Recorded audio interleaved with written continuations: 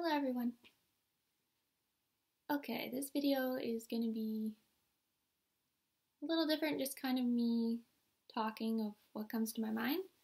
And the reason I wanted to make it is to encourage you all, um, to encourage us, the body of Christ, in how we can be a light in this time of darkness, what's going on with the coronavirus, um, what our government is doing, those of us in the US, what our government is doing to try and regulate it and control some things of it. It's all very new for us and scary.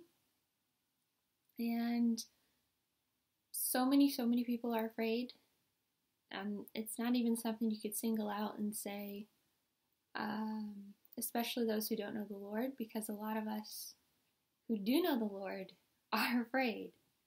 And now, yeah, I, I brought a, I made a video before talking about how you don't have to be afraid uh, with what's going on, and it's still true.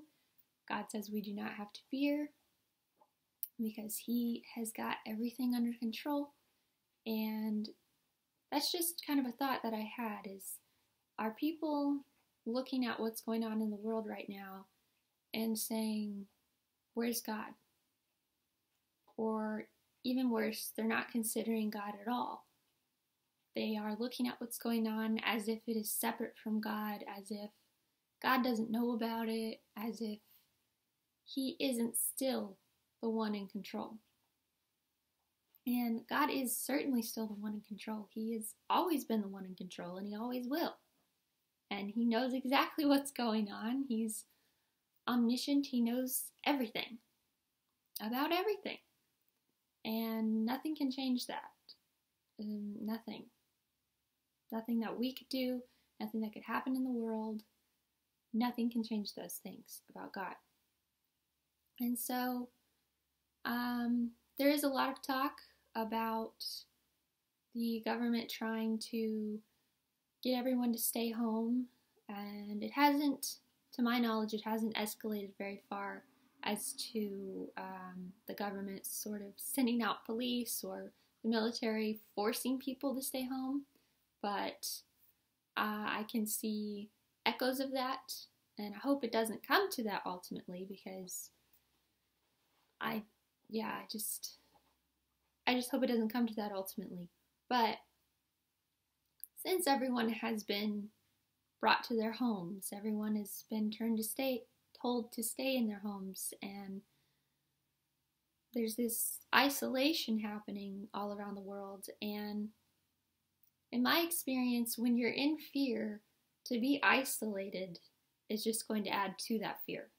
I understand entirely the wisdom behind keeping germs from spreading because that is how we spread germs, person to person. But I don't want anyone out there to think because you have to stay in your home or because you're not supposed to meet with large groups of people or go to events or, uh, you know, just do life n- normally. I don't want you to think that means you're alone because you're not.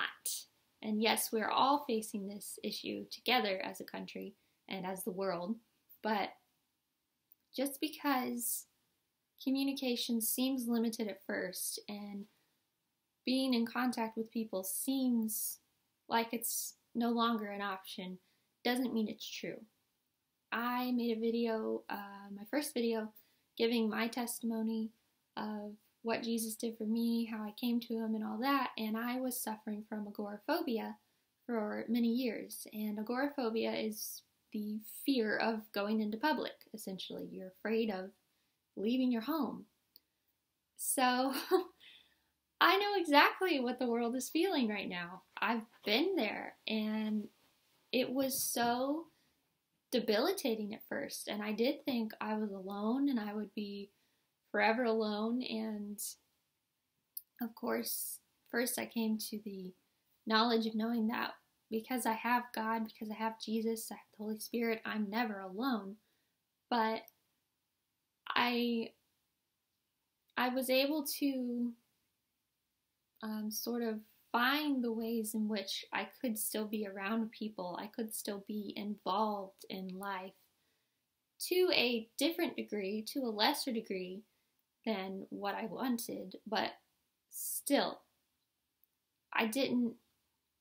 I didn't stay isolated in that sense. There was a time I was, but it wasn't the entirety of the years that I suffered from agoraphobia. And so I just wanted to get on here and sort of share a little bit of that and some ideas that I have on how we can still fellowship during this time and how we can still be a testimony and shine the light in this darkness. Fear lives in darkness, fear is everywhere, darkness is everywhere. So we, the body of Christ, are told to shine our light in this darkness. So, yeah. I, when I say this statement, know that it's not um, out of pride or me trying to seem ignorant or that I don't understand how serious uh, the virus can be and how um, how it is important that you take precautions and not get people sick and all that sort of thing. But I'm not afraid. I haven't felt since you know since this all started being broadcast to us. I haven't felt a moment of fear. I haven't felt like, oh my goodness, what's going to happen? We're going to be doomed. We're all going to die. Um, we're alone. We need help. What's going to happen? I haven't felt any of those thoughts. I haven't thought any of those thoughts. I have had this peace in the midst of this chaos. And that peace is Jesus.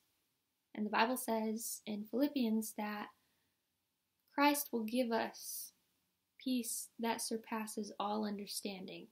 And what that means is we will feel this peace and this calm and not be afraid in the midst of something like the coronavirus, this pandemic, in that you look around at the situation and you see everyone afraid and you understand the logic behind being afraid and that you you kind of sh- maybe should be feeling scared, but you're not. You're at peace. You're calm. You don't feel anxious or worried because you know that you are protected by the Lord. You are protected by the God of heaven and earth. And that He will never leave you or forsake you, and that He is your provider. And you know that although you don't understand um, the mechanics of what's going on, how it's all going to turn out, what the ending will be, that it's okay because you know the one who does know. And you know the one who is in control of that. And you know that whatever happens out there, he's going to protect you under his wing. He's not going to let anything swallow you up and destroy you. He's, he is your shield. He's going to fortify you. He is going to make you feel peace and strength during this scary time. And all you have to do is come to Him. Just continually be speaking to the Lord, be praying without ceasing, and ask Jesus for the peace, and He will give you the peace. And you'll look at it yourself and sort of say, I don't understand why I'm not afraid, but I'm not afraid. And ultimately, you do understand it's because of Jesus. But again, when the whole world's going crazy and everything is a mess and it's just chaos, you can feel this peace.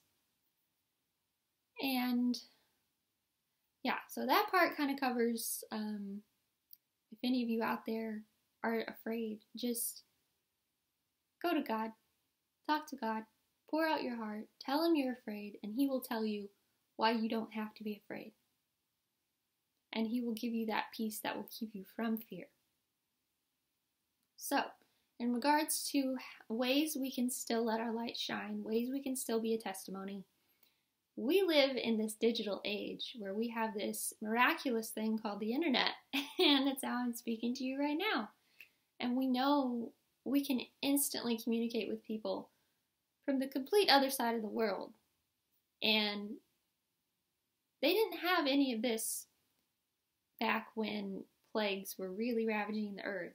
Um, back when um, in World War One, they had the Spanish flu, and further back with all the plagues of the Middle Ages, they didn't have a way to reach out to someone and get someone to tell them it's going to be okay. Here's what you can do. Here's why you can feel peace. Here's how you get the peace. They didn't have anyone who could do that to them because they were just isolated to that small area they could reach.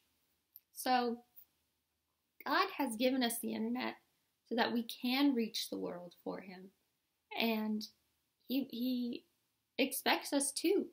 So, um, in the video I posted before this one about prayer, I mentioned how through the social media platforms we can all get on the internet and post scripture and prayers and encourage everyone. And that is definitely a way that can make a huge impact for people. Um, even I think what you can do is share your personal feelings. And sort of as I said, you know, I see all this reason to be afraid, and yet I'm not afraid.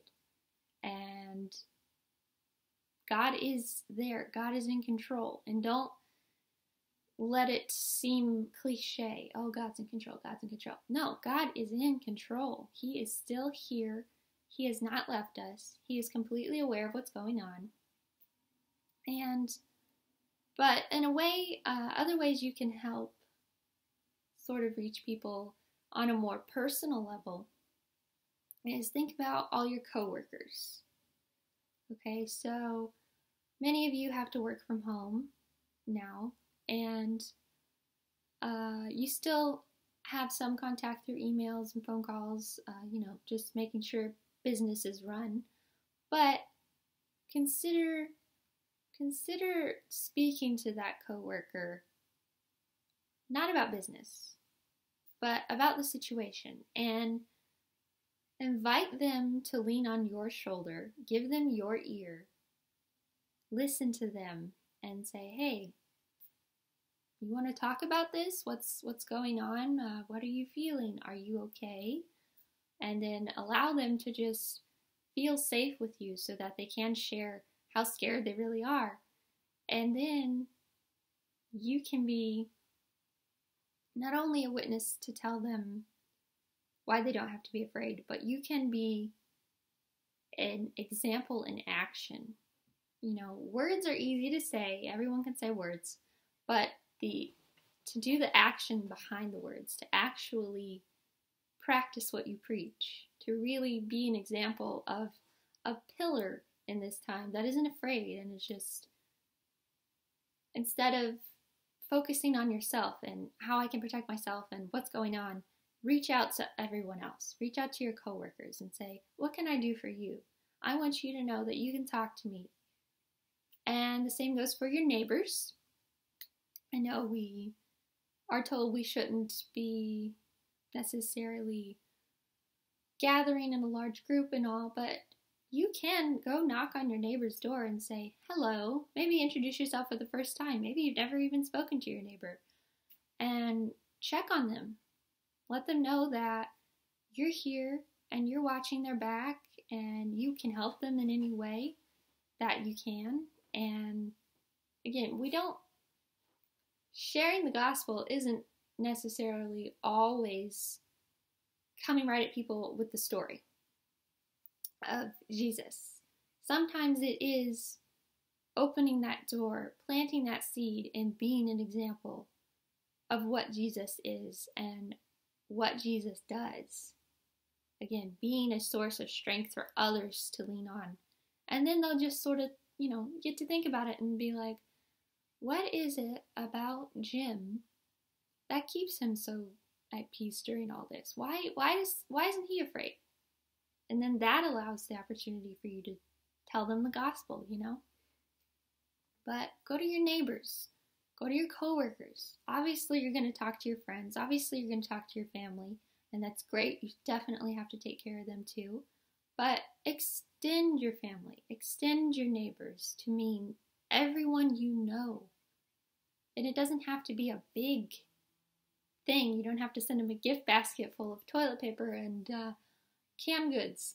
But just, again, let them know hey, I'm here if you need to talk and I'll listen. You know? That can make such a huge difference to people, especially when they're afraid. Trust me. And then in other ways, you can um, do things that sort of uh, parallel normalcy. Um, you know, we can't do large gatherings right now, but you could do a group chat with people on um, what is it, uh, Skype or FaceTime, uh, other video calling platforms, or a literal group chat through texting. And you know, there are there are ways to occupy yourself and still be in contact with people, even though you're kind of stuck at your house. So, yeah, that's kind of that's kind of what I was trying to get at here in this video, and I hope that I gave some good ideas, some good advice. Um, oh, another thing, um, if you have an extra Bible, seriously consider offering it to your neighbor, like your literal neighbor. And if you don't have an extra Bible, then maybe just, I don't know, type out or write down somehow, give them some scriptures for them to know they don't have to be afraid right now and that everything, we don't know how it's going to turn out, but we don't have to be afraid or trying to figure out how it's going to turn out in order to be safe. So, yeah, anyways. Sorry if this video is kind of rambly and all over the place. That is how I think, usually. Um, anyways, I hope that you found it helpful, and I really, really, really hope that you try one of my suggestions, and even better, come up with suggestions of your own and just do what you can and realize you are still capable of doing something. You are still capable of helping people, even in this physically isolating situation. Thank you all for watching, and I pray that you all have the peace of Christ, which surpasses all understandings, guarding your heart and your minds through this time.